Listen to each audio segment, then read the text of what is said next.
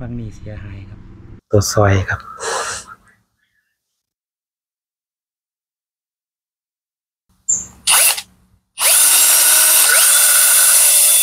ประมาณนี้ครับ ขยับได้นิดหน่อยครับ ต้องบัติดนะครับ ต้องบกด นี่ก็จะเป็นเสือสูบของ Honda Wave 125 S ครับ จากการตรวจสอบเบื้องต้น เสือสูบกายังใส่ได้อยู่ครับถือว่าบ่มีห้อยครับผมแล้วก็เช็คเบื้องแล้วครับแน่นดีครับถือว่ายังดีครับใส่ได้ครับนี่ก็มันอาจจะเป็นเหตุผลที่เครื่องสตาร์ทยากหรือสตาร์ทบ่ติดครับผมเมื่อลูกสูบยังดีลูกสูบยังแน่น เสือยังดี สาเหตุที่มันบ่ติด มันก็ต้องมาจากสาเหตุอื่นครับ สาเหตุอื่นที่ผมคาดไว้คาดว่ามันสิเป็นก็คือ น่าสิเป็นน้ำว้าวครับผมว้าวอาจสิหัวว้าวหัว ซึ่งถ้าหัวกับเฮ็ดให้กาดมันหัวนะครับเฮ็ดให้แรงอัดมันตก อาจสิเฮ็ดให้เครื่องสตาร์ทบ่ติดได้หรือว่าแห้งบ่ดีได้ครับผมอ่าในส่วนของลูกสูบก็จบครับผมบ่มีหยังครับใช้ได้ครับผมเวฟหนึ่งสองห้าเอส ในส่วนของเวฟนี่ก็สิเป็นถ้ารุ่นเอสนี่สิเป็นคาบูธรรมดาครับถ้ารุ่นหัวชีก็สิเป็นรุ่นไอนะครับเนาะลงไทายด้วยไอหนึ่งสองห้าไอยังสิครับ รุ่นนั้นสิเป็นรุ่นเติมสิเป็นรุ่นหัวฉีดแต่นี่ยังเป็นคาบูอยู่ครับยังแน่นดีครับผมหาสาเหตุอื่นต่อไปครับ ซึ่งผมมั่นใจว่าจะเกิดจากว่าวแน่นอนครับ ดี๋ยวไปเบิ้งว่าวครับ อะทีนี้เขาก็สิมาถอดกันครับ ถอดว่าวมาบดไหมครับผม ที่เห็นนี่ก็คือฝาครอบกระเดื่องว่าวครับ มีสองทางซ้ายขวาครับว่าวก็จะมีอยู่สองตัวครับ ตัวใหญ่นี่เป็นว่าวไอดีครับ ตัวสีตัวน้อยดีจะเป็นว่าวว่าวไอเสีย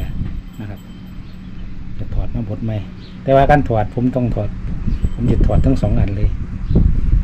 แต่ว่าที่มันหัวที่เห็นก็คือวาวไอดีครับอันนี้ที่เป็นเพาลาวลินครับ อันนี้ผมอาจจะพอถอดครับถ้าพอจำเป็น เดี๋ยวเบิ่งกันครับถอดเลยครับ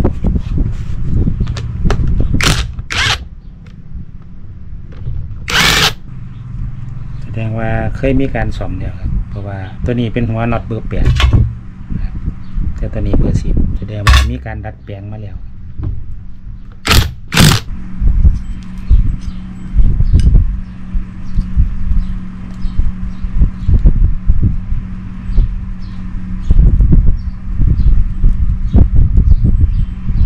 เปิดออกมาก็สิเห็นชุดวาล์วครับกระเดื่องวาล์วครับหางวาล์วอันนี้กระเดื่องครับผม อั นนี้ก็คือกันครับ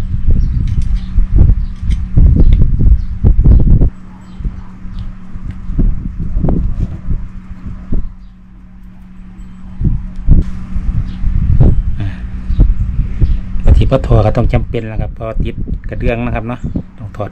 เผาลูกเปียวมาก่อน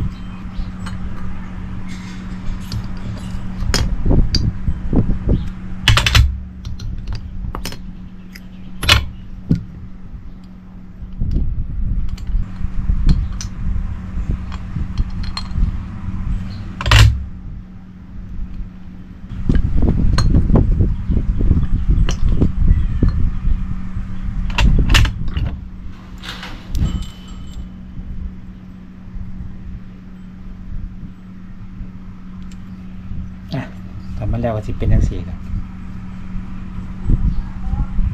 ที่มีการถอดว่าล์ว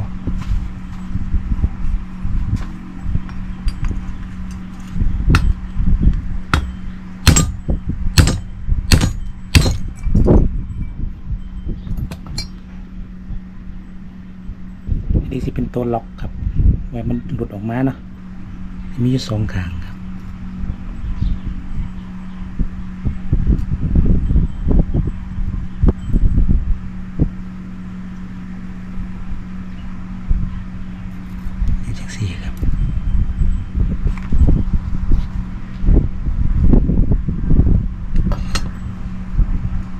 ระวังจังน้อยครับมันตัวน้อยระวังมันหายครับ จากนั้นเขาก็เสียว่าออกได้ครับดึงออกทางนี้ครับดีดีๆไม่เสียครับเพิ่งบาเบาฟังนี่เสียหายครับ เป็นห้อยครับห้อยตามหมดฟังนี้นะครับ บาเบาครับ ชัดเจนครับผมบทไหมครับเดี๋ยวมาเบิ่งวิธีบทต่อไปครับผม ครับผมบัดนี้มาหมดว้าวครับผมเนื่องจากบาร์มันซึซึกล้อครับผมนี่ชัดเจนเลยครับมีห้อยใหม่มีห้อยสอดว้าวกับบุ๋มบสมควรครับ แต่คงสิบ่บดลายครับโอเคห้อยมันหลบเนาะอุปกรณ์เฮาขาดบ่ได้เลยก็คือนี่ครับ ผมกากเพชรนะครับแล้วก็ว้าวแล้วก็ตัวซอยครับ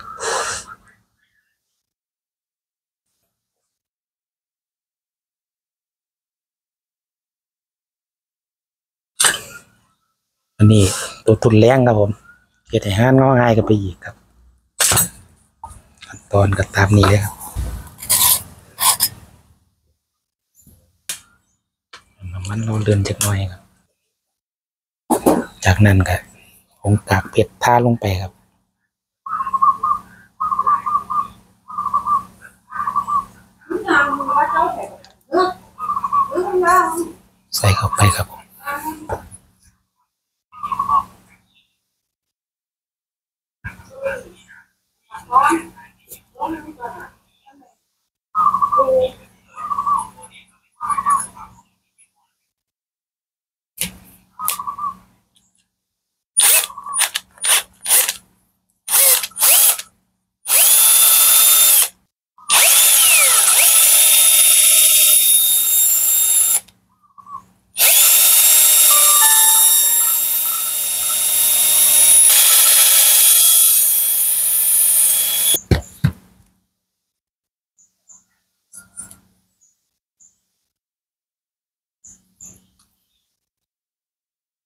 หลังจากที่บดไปครับผม ขอบกระชิเป็นห้อยสม่ำเสมอครับบ่มีตาหมดครับผมเดี๋ยวมาเบิ่งบาว้าวครับ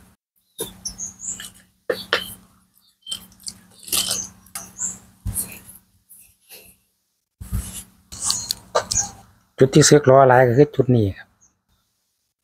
อันนี้ก็หายไปแล้วครับผมสิบ่ฝนไปหลายกว่านี้เพราะว่ามันสิในบาว้าวจบนะครับเห็นว่ามันเริ่มสิมีขอบบาว้าวจม อันนี้ถือว่าใช้ได้แล้วครับ ต่อไปผมก็สิบดฟังไอเสียครับ คือเก่าครับผมนี่จานครับ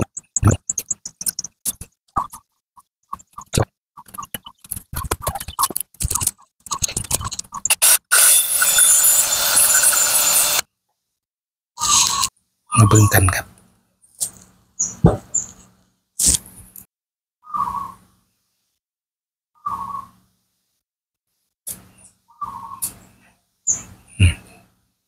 ขอบมันเรียบเสมอเป็นไซไดครับผมแบบนี้ไซไดแล้วครับจากนั้นต้องล้างให้สะอาดครับผมเพราะว่ากากเพชรนี่แต่มันขาดมันจะไปทำความเสียหายกับชิ้นส่วนได้ครับ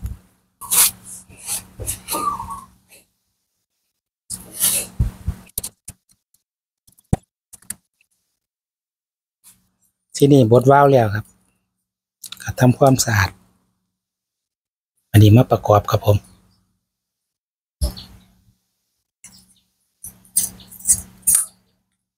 ใส่เข้าไปครับตามด้วยสปริงครับ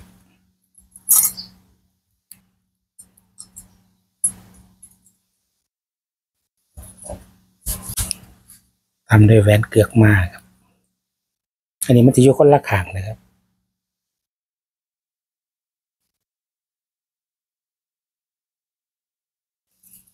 เทคนิคของผมก็คือ สอดเผาตัวนี้เข้าไปครับหาล็อกกระเดื่องครับผม เพื่อเป็นคันไว้งัดนะครับจากนั้นใส่ไขควง สอดเข้าไว้ตรงคันครับ เอามือประคองซอยครับพี่น้องระวังอย่างน้อยครับเดี๋ยวหายพอได้แล้วกับปล่อยครับผม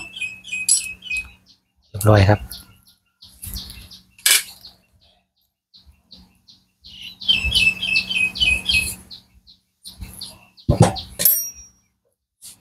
ล็อกดีแล้วโอเคครับผมตอนนี้เขาล็อกแล้วครับ กระเดื่องครับแต่ใส่บ่ถือมันสิบ่ตรงนะพี่น้อง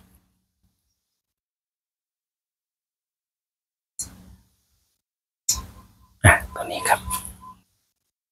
เพาหยุดกระเดื่องวาวสิมีอยู่สองขนาดนะครับ อันหนึ่งสันอันหนึ่งยาอันสันนี่สิเป็นด้านของไอดีครับ อันยาสิเป็นด้านไอเสียครับผม ใส่ถือทางนะครับ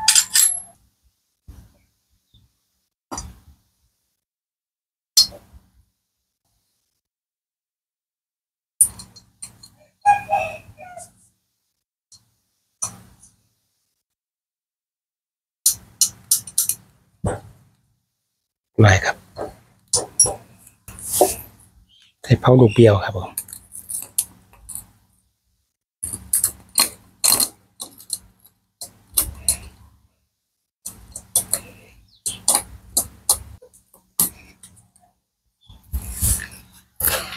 ถ้ามันติดกับค่ายก่อนครับ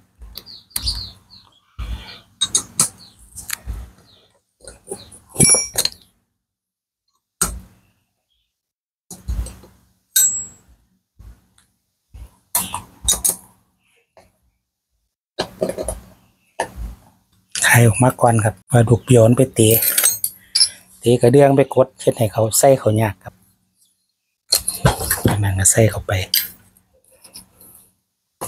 บร้อยครับ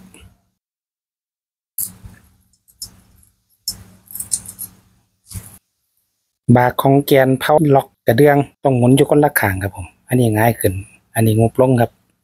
อันนี้ความลง อันนี้ง่ายขึ้น เวลาใส่ตัวล็อกมันจะเข้าพอดีครับ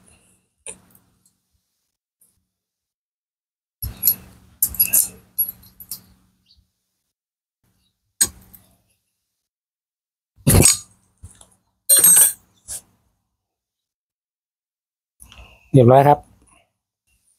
ต่อไปก็ตั้งว่าวครับผมก็เนื่องจากผมบ่มี feeler gauge ผมก็สิใช้วิธีประมาณเอาครับ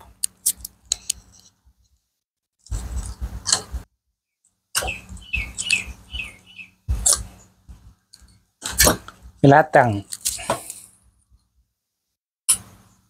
เพลาลูกเบี้ยวที่ต้องอยู่ตำแหน่งฟรีครับผม ต้องว่าเป็นตำแหน่งที่ดันดันขานะครับ นี่ก็ปรับตั้งครับ ผมก็สิเอาประมาณ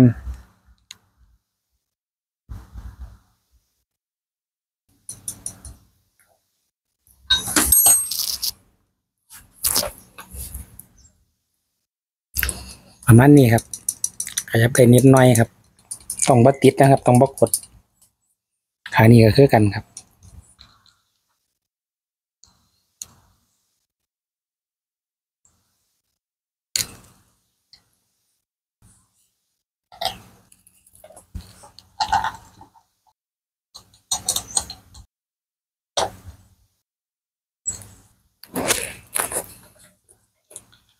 ก็เรียบร้อยครับผม ชุดหัวสูบฟ้าสูบครับผมของเวฟร้อยยี่สิบห้าเอสครับผม มีประมาณนี้ครับ